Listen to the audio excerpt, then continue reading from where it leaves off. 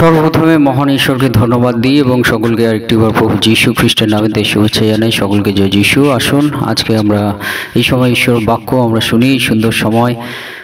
প্রথম যখন পাঁচ অধ্যায় বারো পদ, পুত্রকে যে পায়াছে সে সেই জীবন পায়াছে ঈশ্বরের পুত্রকে যে পায় নাই, সে সেই জীবন পায় নাই। ঈশ্বর বাক্যে আমাদের প্রত্যেকে আশীর্বাদ যুক্ত করুন। আমেন।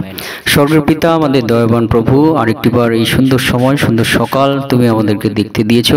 আর এই দিনে তোমার মহানামে গৌরব, প্রশংসা এবং ধন্যবাদ দিই প্রভু গো। এই সময় প্রভু, তোমার যে বাক্য, জীবন বাক্য তুমি শোনার সুযোগ করে দিলে, তোমার পবিত্র আত্মা দ্বারা প্রভু তুমি আমাদের জীবনে কথা বলো এবং প্রভু তোমার পথ সকল জ্ঞাত করো প্রভু গো। এবং পরিচালনা দাও, সঙ্গে সঙ্গে থাকো। সকল সন্তানেরা যতজন শুনছে, প্রভু, প্রত্যেকের জীবনে তুমি কথা বলো এবং আত্মিক বিষয় আরও বৃদ্ধি করতে তুমি সাহায্য করো। সঙ্গে সঙ্গে থাকো, এই প্রার্থনা নাসর যিশু খ্রিস্ট নামে চাই। আমেন। জয় যীশু। আজকে আমরা দেখি আমাদের পিতা তিনি বলেন যে, পুত্রকে যে পায়াছে সে জীবন পায়াছে অর্থাৎ যারা প্রভু যিশুর চরণতলে এসেছেন, তারা জীবন তারা পেয়েছেন। যদি আমরা দেখি যে প্রত্যেক বিশ্বাসী যারা প্রভু যিশুর চরণতলে আসেন, তারা জীবন পান। সেই জীবন কেমন জীবন? অনন্তকালীন জীবন যা বর্তমান থেকে যত দিন পর্যন্ত তারা প্রভুতে, এই জগতে মৃত্যু পর্যন্ত বিশ্বস্ত থাকে।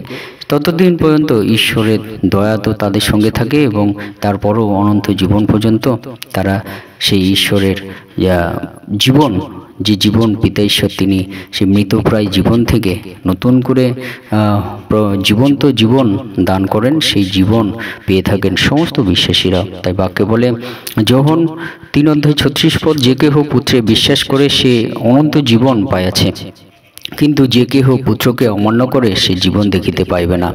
কিন্তু ঈশ্বরের ক্রোধ তাহার উপরেও অবস্থিতি করে। আমেন। অর্থাৎ যতজন ঈশ্বর সন্তানেরা তারা প্রভু যিশুর চরণতলে এসেছেন, তারা অনন্ত জীবন পেয়েছে। কিন্তু কীভাবে যদি বিশ্বাস করে? যে পুত্রকে পাইয়াছে, অর্থাৎ যে প্রভু যিশুকে বিশ্বাস করেছে, তারা অনন্ত জীবন তারা পাবেন। কিন্তু যারা প্রভু যিশুকে অমান্য করে, তারা কিন্তু সেই জীবন দেখতে পারবে না। কি জীবন দেখতে পারবে না? অনন্ত জীবন। যে জীবন অনন্তকালীন ধরে। কিন্তু তার বদলে ঈশ্বরের ক্রোধ তাহার উপরে অবস্থিতি করে। যেমন বাক্যে লেখা, যে কেহ পুত্রে বিশ্বাস করে, যে কেহ যীশু খ্রিস্টতে বিশ্বাস করে, সে অনন্ত জীবন পাইয়াছে। কিন্তু যে কেহ পুত্রকে অমান্য করে, যে কেহ প্রভু যীশুকে অমান্য করে, সে জীবন দেখিতে পাইবে না। এবং ঈশ্বর ক্রোধ তাহার উপরে অবস্থিতি করে। অর্থাৎ এই বিষয়ের মধ্য দিয়ে আমরা বুঝতে পারি যে পুত্রকে যে পায়াছে সে জীবন পায়াছে আমেন। যা সার্থকতা দান করে এই বাক্যের মধ্য দিয়ে।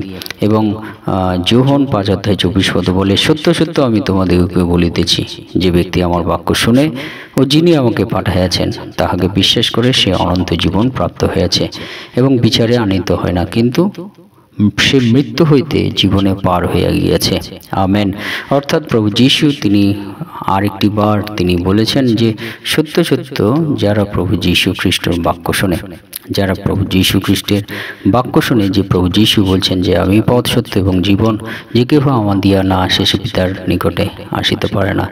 অর্থাৎ প্রভু যীশু তিনি আমাদের পথ, সত্য, জীবন এবং প্রভু যীশু তিনি বলেন, যে আমার বাক্য শুনে সে কিন্তু অনন্ত জীবন প্রাপ্ত হয়েছে। অনন্ত জীবন সে কিন্তু পেয়ে গেছে পিতা ঈশ্বর তিনি বলছেন, এবং তাকে বিচারে আনিত হবে না। যখন প্রভু যিশু দ্বিতীয় আগমন হবে, সেই সময় প্রভু প্রভু যিশু তিনি বলছেন যে, যারা তাকে বিশ্বাস করে, সেই তো সেই দ্বিতীয় আগমনের সময় কিন্তু আর তারা বিচারে তাদেরকে রাখা হবে না, কারণ তারা মৃত্যু হইতে জীবনে পার হয়ে গিয়েছে।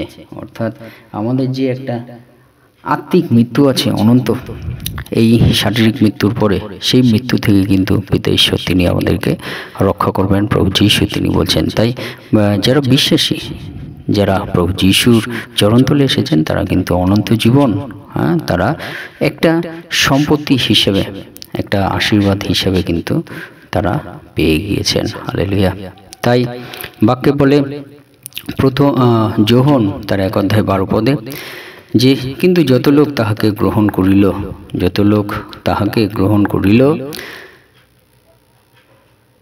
সেই সকলকে যাহারা তাহার নামে বিশ্বাস করে, তাহাদিগকে তিনি ঈশ্বরের সন্তান হইবার ক্ষমতা দিলেন। আমেন।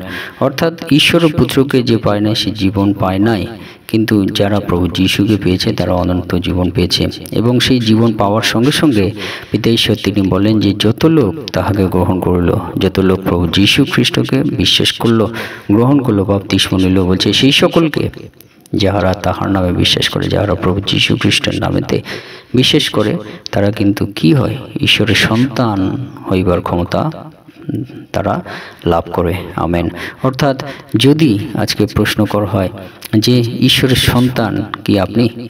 ঈশ্বরের সন্তান কি আপনি মনে করছেন? কিন্তু বিদেশ্বর তিনি আপনাকে বলেন যে আপনি যদি প্রভু যিশুকে গ্রহণ করেন, প্রভু যিশুকে বিশ্বাস করেন, তাহলে আপনি ঈশ্বরের সন্তান হইবার যোগ্যতা আপনি লাভ করেন।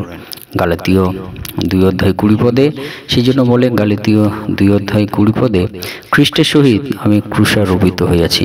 আমি আর জীবিত নয় কিন্তু খ্রিস্টই আমাদের জীবিত আছেন।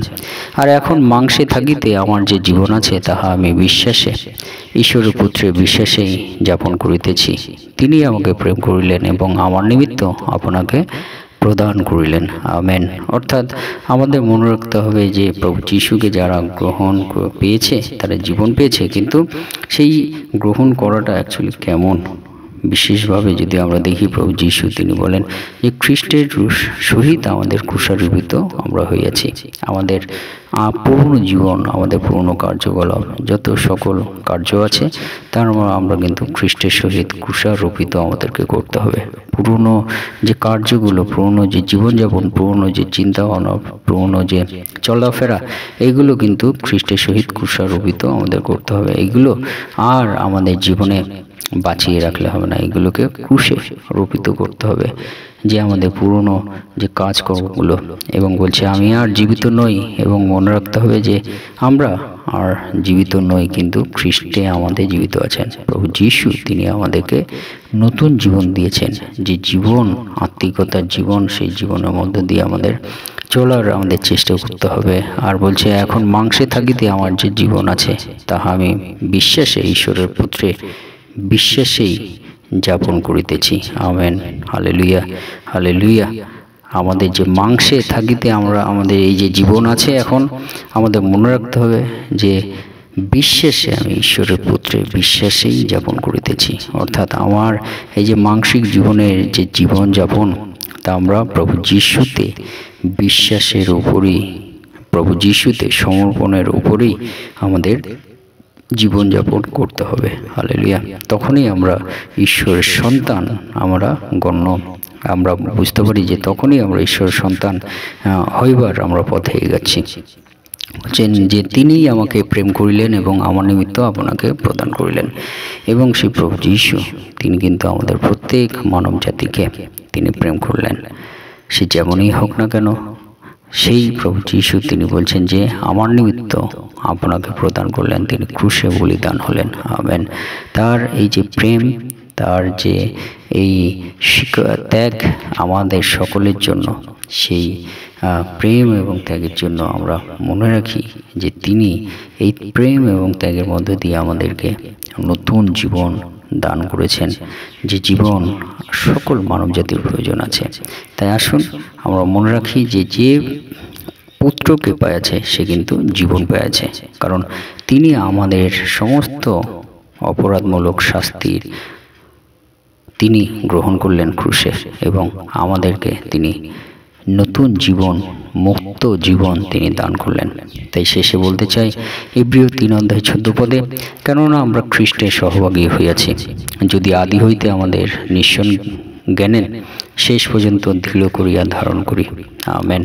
যদি আমরা আমাদের যে নিশ্চয় জ্ঞান শেষ পর্যন্ত আমরা দৃঢ় করে রাখি, আমরা স্ট্রং হয়ে থাকি যে আমরা খ্রিস্টের এখন সহভাগী হয়েছি। আমেন। যখন আমরা খ্রিস্টের সহভাগী হই, খ্রিস্টের সঙ্গে যুক্ত থাকি, তখন আমরা ঈশ্বর সন্তান এবং নতুন জীবন আমরা পেয়ে থাকি। তাই আসুন, আমরা সেই পিতা ঈশ্বর, আমাদের প্রভু যিশুর চরণতলে আরেকটি বার আমাদের জীবন আমরা সমর্পিত করি। তার মহানামের ধন্যবাদ প্রশংসা দিই। হালে লুইয়া ঈশ্বর তার বাক্যে আমাদের প্রত্যেককে আশীর্বাদ যুক্ত করুন। আমেন। জয় যিশু জয় যিশু।